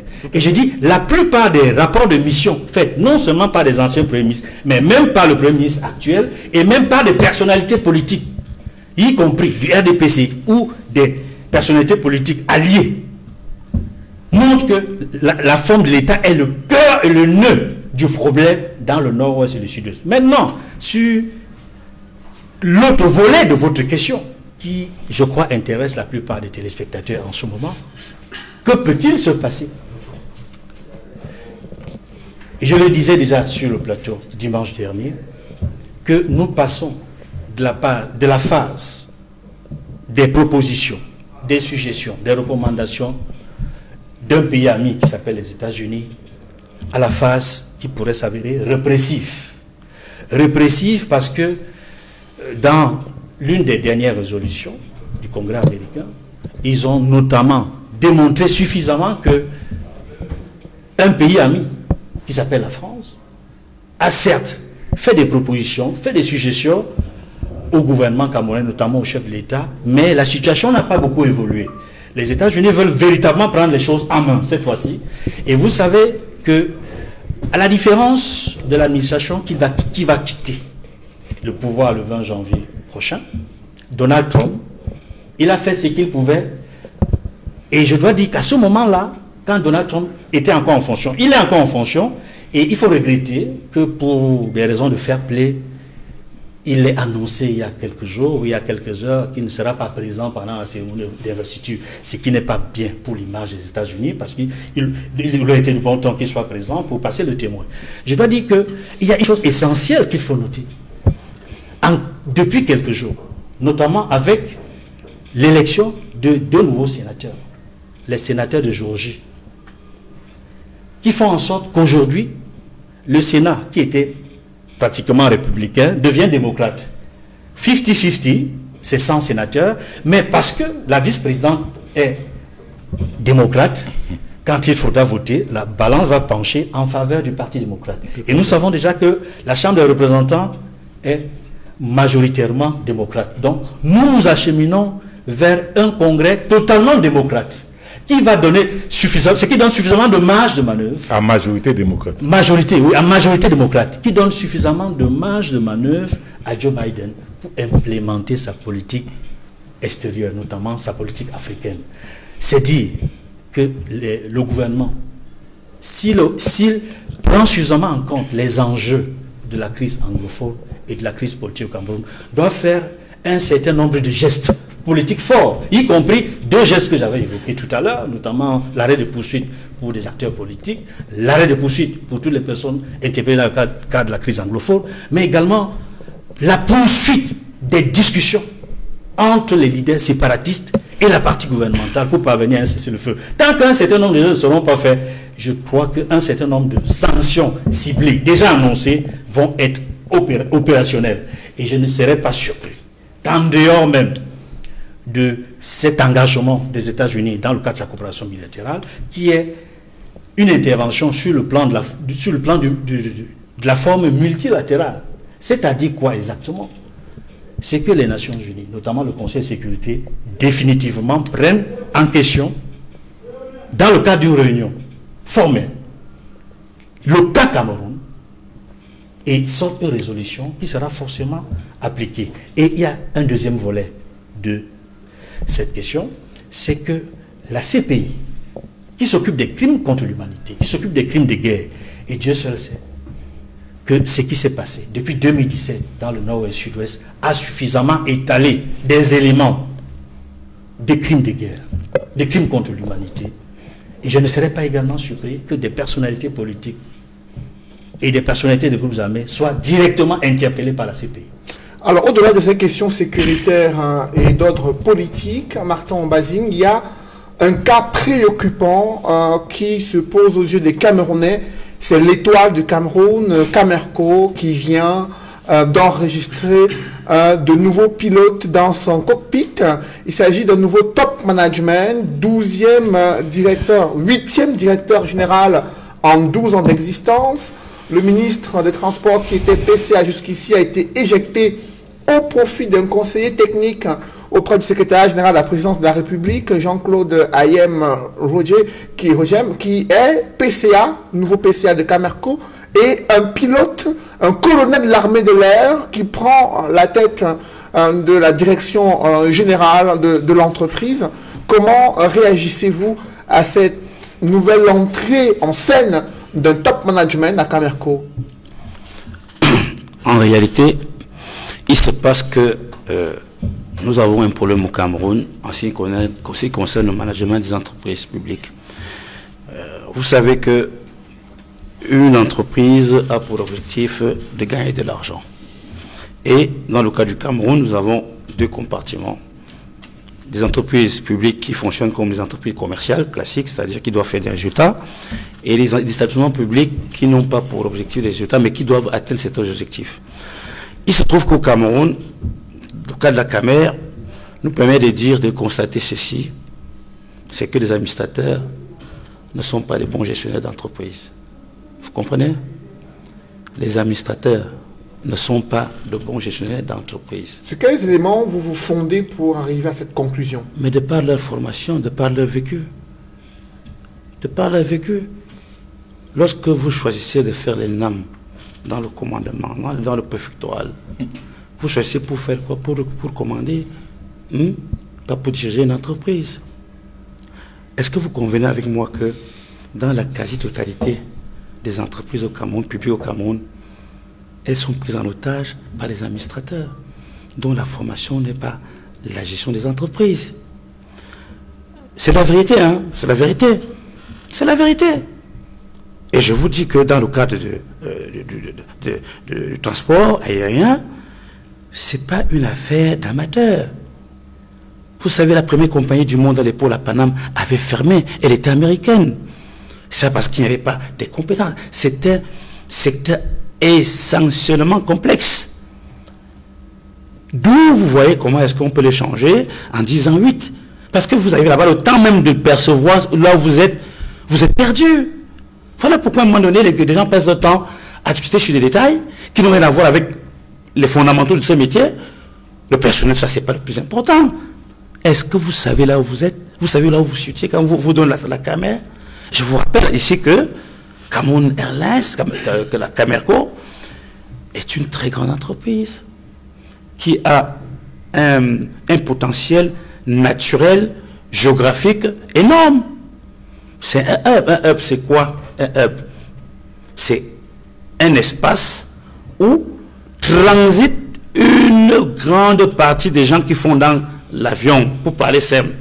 Ça veut dire que même sans avoir une compagnie performante, le positionnement géographique du Cameroun fait du Cameroun un acteur important dans l'aviation. Est-ce que lorsqu'on vous nomme directeur général, vous savez même de quoi il s'agit? Vous savez que vous avez ce potentiel naturel-là? En dehors de parler des autres choses. La deuxième étant, votre, votre, votre, votre flotte. Comment ça se fait ailleurs? Comment ça se passe ailleurs? Comment a, fonctionné Éthiopien Comment fonctionne Kenya? Vous savez que le nerf de la guerre, c'est le capital, l'investissement, l'achat des, des, aéronefs. Sous d'autres choses, qu'est-ce qu'on fait l'État? Achète, s'occupe de la partie investissement des aéronefs et, les loue hein, à la société qui gère. Bon, Aujourd'hui, la caméra ne peut pas, je mets ma mot feu, penser que un administrateur, je vous dis, je vous mets au défi, ne peut pas trouver la caméra. Il faut un gestionnaire. Je pense quand même que, en même temps qu'on a créé la caméra, en même temps, il y, a une école qui forme les managers.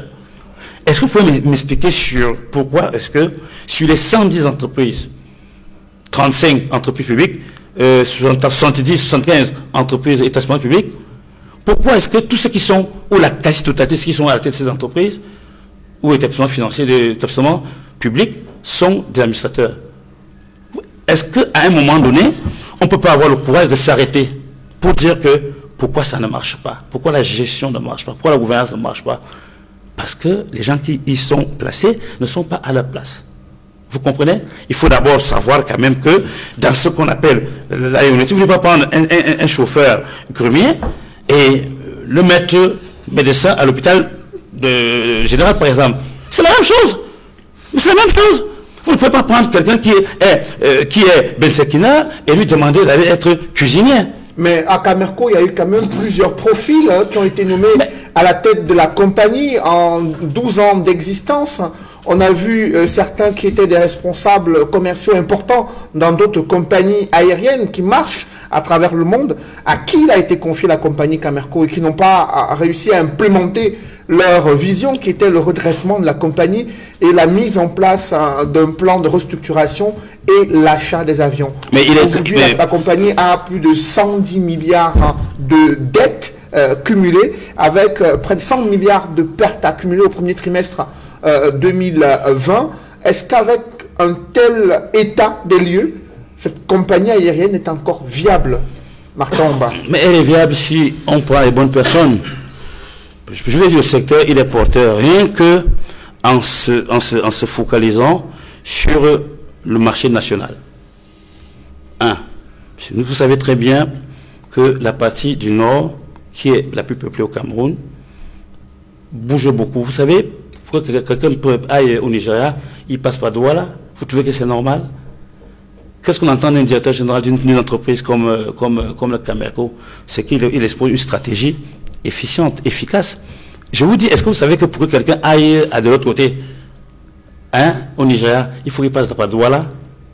Qu'est-ce qui empêche un manager d'élaborer une stratégie où il, sait que en développant uniquement le, local, il va gagner de l'argent?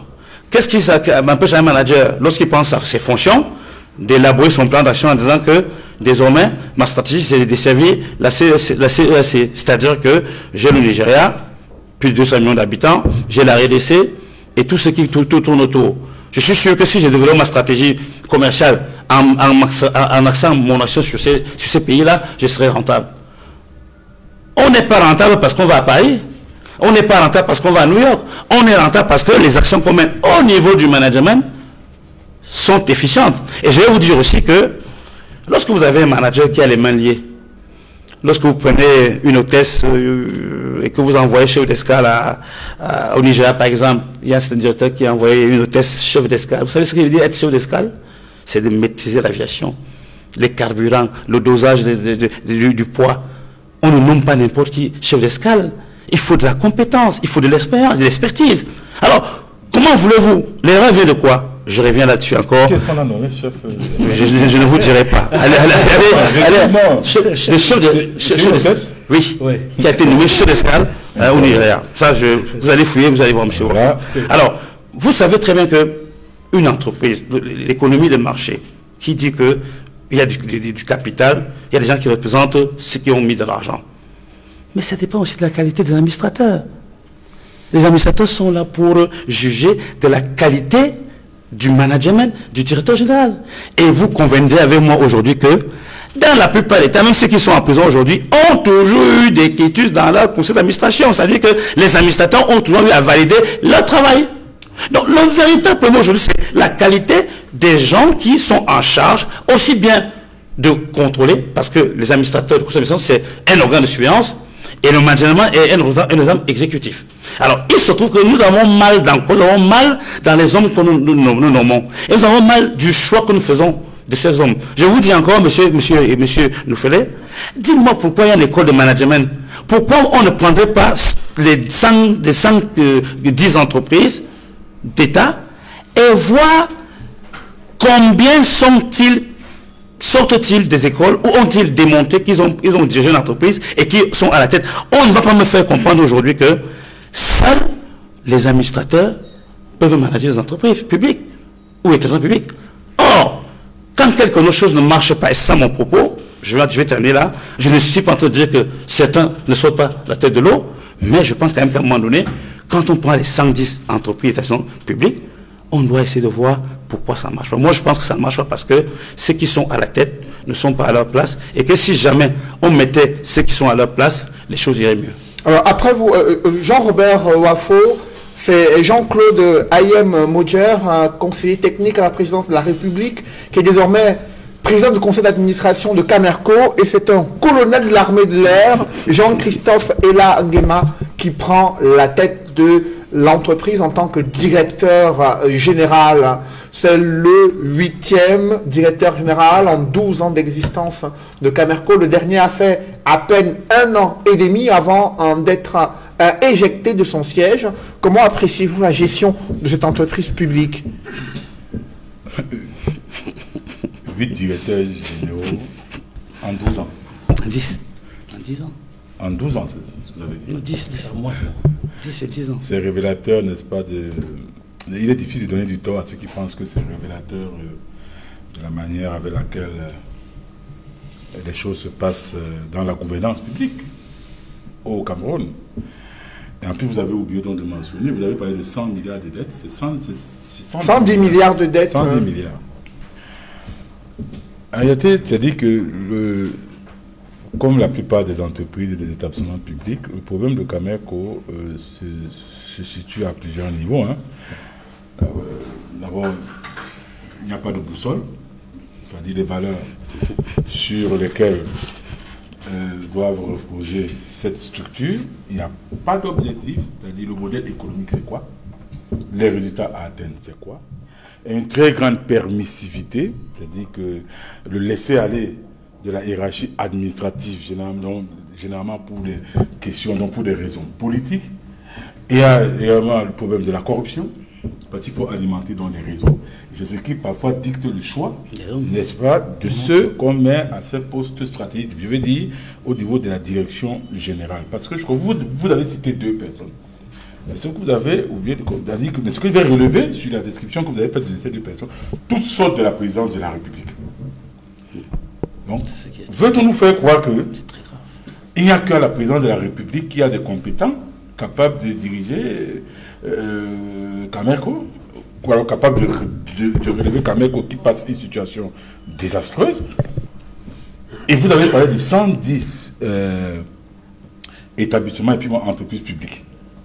vous allez voir, allez faire des recherches. Pour la plupart, ils sont de l'ENAM, pour la plupart, ils, ont, ils sont passés par euh, la présence de la République, par le moule de la présence de la République, etc. etc. Non, je pense pour ma part que euh, pour ce qui concerne Cameco, il ne faut pas avoir honte. Il faut recapitaliser Cameco. Mais j'ai l'impression que les gens refusent l'option de la recapitalisation parce que ceux qui vont venir mettre leurs sous auront un droit de regard quand, quand on ne capitalise pas, les subventions qu'on accorde, ça se partage dans les différentes mafias. Justement, ces subventions, depuis une dizaine d'années, ce sont des centaines de milliards de francs CFA qui ont été euh, euh, euh, envoyés à l'entreprise Camerco pour permettre à ce qu'elle soit viable performante. Avez-vous le sentiment que cet argent a été utilisé à bon escient? Mais pas du tout. pas du tout. Il faut être sourd et aveugle pour, pour penser le contraire. Pas du tout. Qu'est-ce que ça a produit? 110 milliards de dettes? Mais puisque c'est ça la finalité. Non, je pense qu'il faut recapitaliser. Et ceux qui utilisent l'argument de la 11e région, c'est 11e région, mais quand euh, Kameko circule en là, quand les avions circulent là-bas, là, le passager qui est là à bord, est-ce qu'il peut prendre Kameko parce que c'est la 11e région?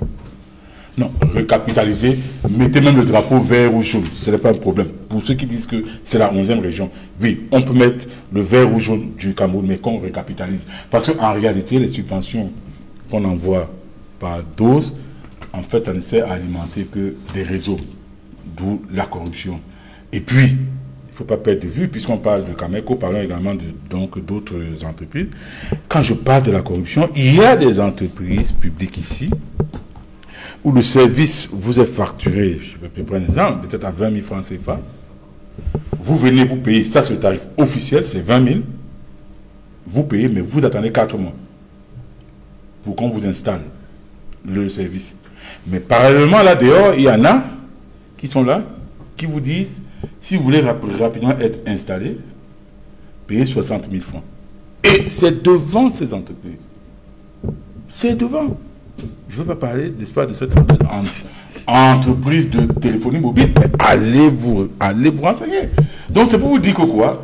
Donc c'est pour dire que tout est mis en place. Ces subventions-là, en fait, ça ne sert qu'à alimenter les réseaux. Pour alimenter les réseaux, ces réseaux se battent pour, pour, repositionner donc leurs hommes lits c'est de ça qu'il est question. Ne pas prendre, n'est-ce pas, ne pas analyser cela sous ce prisme, c'est avoir tout faux. Après vous, Jean-Robert euh, Raphaël Ndougou, la présidence de la République qui prend en main la, gestion euh, de l'entreprise Camerco après plusieurs années de contre-performance avec une dette cumulée de 110 milliards euh, de francs CFA, avec un personnel qui enregistre des arrêts de salaire, avec des difficultés à pouvoir s'imposer euh, dans un ciel hautement concurrentiel, euh, pratiquement sans avion durant ces, derniers, ces derniers mois, où il y avait une location d'un avion, location qui est arrivée à terme. Lorsque vous apercevez ce tableau de la gestion de l'entreprise, pensez-vous qu'il faut continuer à y injecter de l'argent ou il faut fermer et euh, pouvoir reconnaître qu'on n'y parvient pas Pour ma part, je crois que Kamek, c'est un mort-né. Et lorsqu'une femme fait un mort-né, on fait un diagnostic pour voir qu'est-ce qui a provoqué que la femme fasse un mort-né. Au lieu d'aller dans la précipitation, de chercher, je crois que vous vous souvenez qu'on a eu des expatriés ici, dans l'affaire, Van Ex et les autres. On n'a pas eu véritablement, on n'a pas vu notre étoile briller comme on l'avait voulu. Les tout premiers étaient, étaient des, expatriés. Et vous verrez que à chaque fois que on change le, top management, c'est le passage d'un ministre qui arrive là, qui pense que non, ça n'a pas bien marché, et puis fait des propositions et on continue de marquer le pas sur place. Quel est votre diagnostic à vous justement sur le ministre Sauf que le ministre, Raphaël, j'ajoute de l'eau à votre moulin, sauf que le ministre qui était PCA lui-même a été balayé et on a lu ça en sa présence. Très bien. Vous savez également qu'il y avait un autre qui était délégué là, qui a aussi été PCA. Donc je dis qu'il est, quand on a un morné dans sa famille, ça dit que sa femme fait un morné, on parle autant d'observer. Je ne sais pas. Chez nous, on a souvent un problème de diplôme, mais on ne voit pas la compétence. On ne sait pas si aujourd'hui, ceux qui arrivent là ont la compétence. Monsieur Umbazini, qui est l'économiste, venez de vous faire véritablement l'économie, tout cela, pour vous dire que non, voilà comment ça doit se faire, ainsi de suite. Est-ce qu'à l'ENAM, il existe une filière de formation de, management, de formation en management public? Si ça n'existe pas, il faut bien la créer. Et si elle n'est pas créée, il y a un institut supérieur de management public où quand on est diplômé l'ENAM, on va aller se faire former là-bas. Et puis dans son CV, on dit que vous avez été formé dans, dans, pour gérer des, des, des, entreprises. Comment comprendre que dans les milliards que vous venez de citer, nous-mêmes, on ne prend pas d'abord notre étoile au sérieux? Il y a des gens qui voyagent, notamment des membres du gouvernement, qui ne payent pas il, y a des, un DG qui était arrivé à parler des factures impayées. Pourquoi quand c'est Air France sans publicité, on paye directement? Vous pensez que le pays, si nous sommes en voyage ici et qu'on va rentrer dans nos pays respectifs un jour? Non. Je crois que ce qu'il y a lieu de faire, c'est de donner ça aux mains des experts.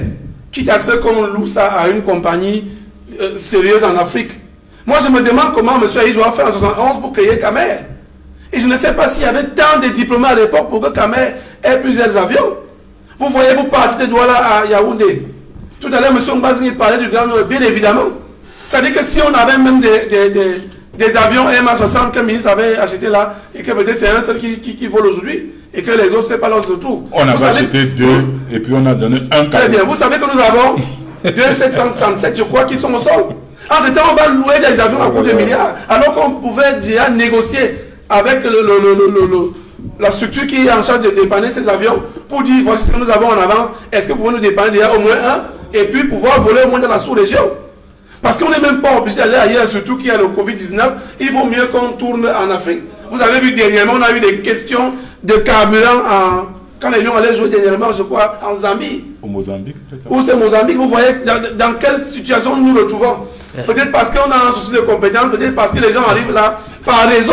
Mais Raphaël, je, je- je pour- je pourrais, je pourrais vous dire que précisions en termes d'entretien et d'efficacité, d'efficience même, ces deux avions qui sont courés sont plus compétitifs que l'actuel. Ça veut dire que le nettoyage, c'est un nettoyage, un entretien, comme vous faites réviser votre, votre moteur, votre véhicule, qu'il faut. Si on rentre, on met ces deux, ces deux Boeing en marche, Cameco redémarre normalement. Mais on préfère aller faire des locations qui nous reviennent plus cher. C'est pour ça qu'il faut recapitaliser, parce que le choix, le choix managérial, quelqu'un qui a mis ses moyens pour faire, Oui. n'est-ce pas, ce genre, pour valider ce genre de dispositif, il ne peut pas accepter cela. Il- mais, mais lui, il dira, j'ai pas mis mon agent pour que vous blaguez avec. Mais comment expliquer justement cette situation, Raphaël? Tout en moyenne, sur un an et demi, deux ans, il y a un nouveau directeur général qui arrive et un nouveau président du conseil d'administration. Le gouvernement fixe une feuille de route, à savoir le redécollage de l'entreprise et le fait que euh, le taux de remplissage des, des avions on puisse atteindre au moins euh, 75%. Et quelques mois plus tard, ce sont des conflits entre PCA et DG sur fond de crise euh, de gestion de l'entreprise et il y a des changements qui sont opérés, mais les résultats ne suivent pas. Qu'est-ce qui fait problème concrètement? Quand vous avez eu un morné, votre épouse va seulement faire les fausses couches si vous n'avez pas à l'hôpital faire un bon diagnostic. Si vous ne partez pas voir votre gamme au village pour vous donner des potions. C'est- de ça qu'il est question. Il n'y a pas autre chose. c'est- C'est-à-dire c'est- que vous n'avez pas pris le temps de voir pourquoi est-ce qu'un bébé qui est déjà pratiquement à terme est né mort. Alors qu'on aurait dû, au, regard de ça, diagnostiquer, mettre justement un traitement adéquat pour l'éviter. Cela veut donc dire quoi? Cela veut dire que même quand nous avons même un seul avion, le manque de cela fait que les clients, celui qui a payé son argent, attend à l'aéroport parce qu'un ministre arrive en retard. Alors qu'ailleurs, il court. Quand on va dans une autre compagnie, on court pour rattraper l'heure. Mais on court les clients, on sort, on ne respecte même pas les clients. Le client a payé, a payé son argent et il attend pendant peut-être des heures. Parce qu'un un ministre est en train d'arriver, un président de X ou Y arrive, et puis ils, ils attendent alors qu'on joue sur le temps. C'est tout cela que M. Mbazing relevait. Et est-ce que l'État et- paye ses factures? Justement, on dit là même de ne pas payer. Et en même temps, on fait attendre les clients qui, eux, ils ont payé.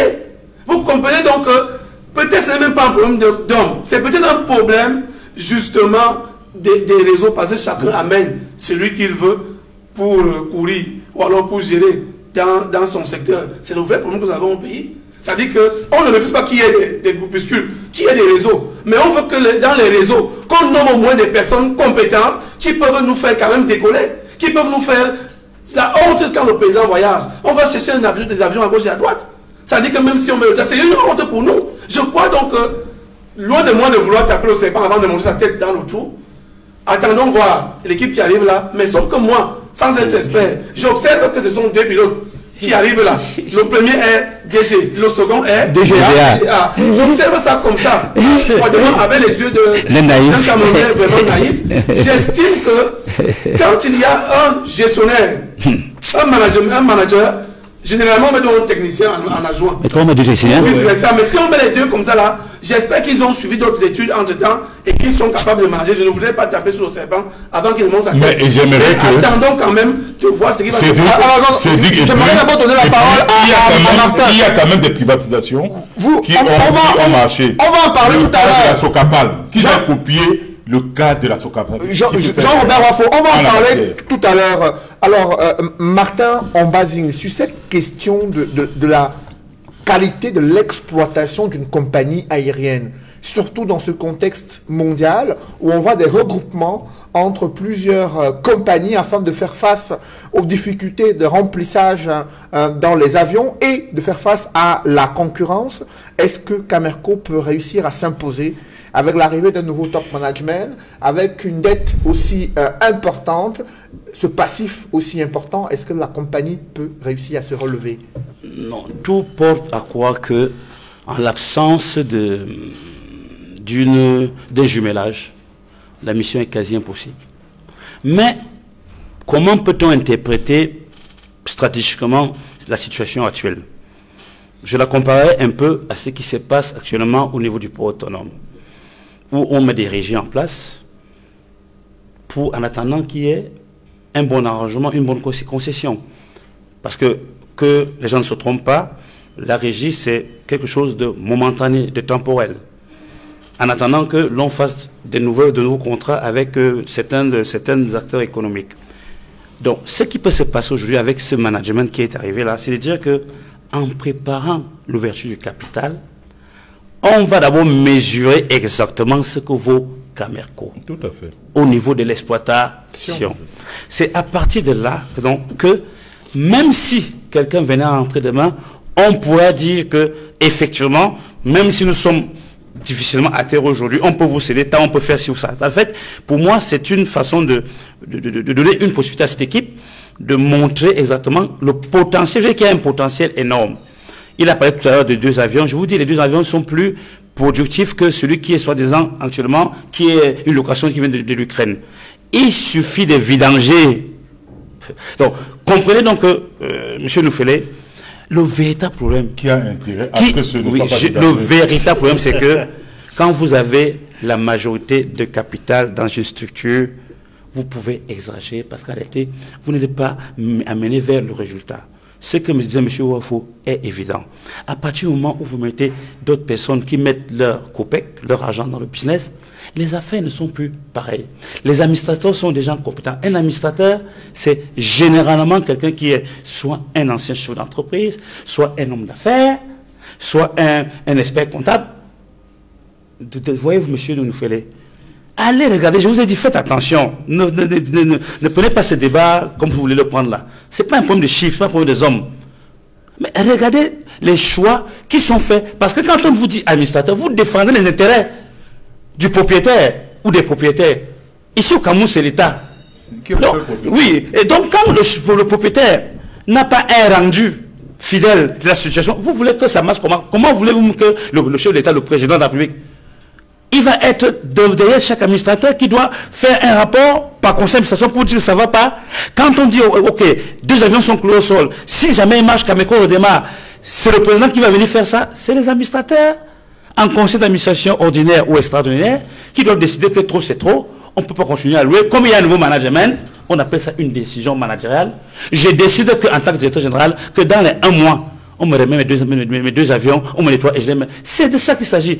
Est-ce que donc, ceux qui sont aujourd'hui ont la capacité ou la possibilité ou la liberté de manager de telle sorte qu'ils puissent prendre des décisions qui sont efficientes. Et donc, le véritable aujourd'hui, il est là. C'est-à-dire que dans d'autres cieux, on court. Les administrateurs des sociétés sont des, c'est comme des stars de football. Vous comprenez? C'est-à-dire que quand on sait que vous connaissez, on va vous mettre pour défendre les intérêts de M. Kamer. On sait que si M. Ngbazi va pour défendre, il va défendre, il est rémunéré normalement, normalement, pour qu'il soit, il ne soit pas tenté. Alors, ce que nous pensons, c'est que notre capitalisme au Cameroun, en ce qui concerne les entreprises publiques, est biaisé de telle sorte que rien, personne ne peut dire le contraire, le rendu n'est pas fidèle. C'est-à-dire que ce que le travail qu'on attend des administrateurs de société, parce que vous, tapez très vite sur les directeurs, le directeur général, hein. le directeur général ne fait que mettre en musique ce que le conseil décide. Et qui, est le conseil? C'est ceux qui représentent l'État. Mais que font-ils? Vous avez vu, au niveau des privatisations au Cameroun, il s'est passé quoi? Il s'est passé quoi? On a l'impression que euh, les Camerounais veulent sur le, je finis là, sur le, la, nouvelle stratégie nationale de développement, on a dit ici préférence nationale. Vous comprenez? Ça veut dire que il faut aussi qu'on qu'on parle du, comportement citoyen. Vous ne pouvez pas vouloir qu'on vous donne 60% des affaires au Cameroun, en tant que Camerounais, que derrière vous, vous un comportement qui, comportement qui n'est pas citoyen. Ça veut dire que qui ne met pas l'intérêt général euh, au devant de vos décisions. Donc la réalité là, donc tout ce qu'on peut, faire aujourd'hui, on va aller à gauche, on va aller à droite, tant qu'il n'y a pas un comportement citoyen responsable, aucune entreprise publique, sauf celles qui ont de l'argent parce que la conjoncture, parce que le secteur le leur permet, je veux parler des hydrocarbures, où là-bas, même quand c'est difficile, ça marche toujours, mais prenez l'exemple de toutes les entreprises où il faut produire, il faut faire de la production pure, ça ne marche pas toujours bien. Et quand même ça marche, il y a d'aucuns qui sont en prison aujourd'hui parce qu'ils exerçaient, parce que ça marchait un peu, mais ils sont en prison parce qu'ils ont mal Donc il faut faire très attention. Ce qui se passe aujourd'hui à Camer, être Camerco est très important pour l'avenir. Merci, messieurs, d'avoir participé à cette émission. Je remercie également euh, Edmond Kamdia. Mais avant de, pouvoir euh, conclure euh, cette émission, Edmond Kamdia, il y avait un élément très important qui s'est déroulé cette semaine concernant les États-Unis d'Amérique avec ce mouvement d'humeur des pro-Trump hein, qui ont perpétré des casses au sein hein, du Capitole, empêchant la certification des résultats de l'élection présidentielle. Malgré ce mouvement, cette certification a eu lieu un peu plus tard dans la nuit et dans quelques jours, Joe Biden sera le prochain président des États-Unis qui prendra officiellement fonction. Quelle leçon retenir de l'attitude des institutions américaines face aux manœuvres effectuées par Donald Trump depuis que les résultats ont été annoncés après l'élection en 2020 ce qu'il faut retenir aux États-Unis, c'est que les institutions fortes protègent et renforcent la démocratie. Aux États-Unis, on a vu toutes les manœuvres, tout ce que le président sortant, Donald Trump, a essayé de faire pour invalider, pour changer les résultats pratiquement, qui étaient déjà perdus pour lui. Il a usé de son influence. On l'a vu dans l'une des dernières révélations qui a été faite par le Washington Post. Il s'est entretenu avec le secrétaire d'État de Géorgie, qui est, un républicain en charge des élections, pour lui demander de faire en sorte qu'il, que ce, responsable républicain trouve 11 780 bulletins en sa faveur. Ce qui lui permettrait de, de, renverser les résultats et de faire en sorte que Joe Biden ne gagne pas les élections en Géorgie. Que lui a répondu le, secrétaire d'État en charge des élections en Il lui a dit Nous pensons que les résultats sont bons. Parce que il y a eu non seulement des recomptages, mais des audits qui ont démontré que Joe Biden a gagné les élections. On a vu, il, a eu, il, y a eu une quasi-totalité d'affaires pour lesquelles lui et ses conseils sont allés devant les tribunaux. Mais presque partout, il a perdu. Partout, il a fait des réclamations concernant la fraude électorale. C'est dire qu'aux États-Unis, la force des institutions, les institutions fortes sont importantes. Et cela part du principe de la séparation des pouvoirs où le, législatif, le judiciaire et l'exécutif sont des pouvoirs qui se suivaient et se contrôlent. Il n'y a pas un pouvoir comme l'exécutif, par exemple, qui serait au-dessus du judiciaire ou au-dessus du législatif, comme on le voit en Afrique et notamment dans nos pays comme le Cameroun, où de fait, l'exécutif fait en sorte que le, judiciaire et euh, tous les autres pouvoirs soient à sa solde. Aux États-Unis, ce n'est pas ça. C'est ça qui a sauvé la démocratie aux États-Unis, où les juges sont indépendants, où les responsables chargés des élections sont libres et indépendants. Ils ne se laissent pas influencer par le président de la République. Même les gouverneurs, Même les gouverneurs républicains. républicains. À commencer par une personnalité forte qui a fait, donné une bonne image des institutions fortes aux États-Unis. C'est le vice-président des États-Unis, de l'administration sortante, Mike Pence, que le président Donald Trump à qui Donald Trump a instruit de tout faire pour perturber, la, séance, la, séance, de, certification des résultats d'élection présidentielle.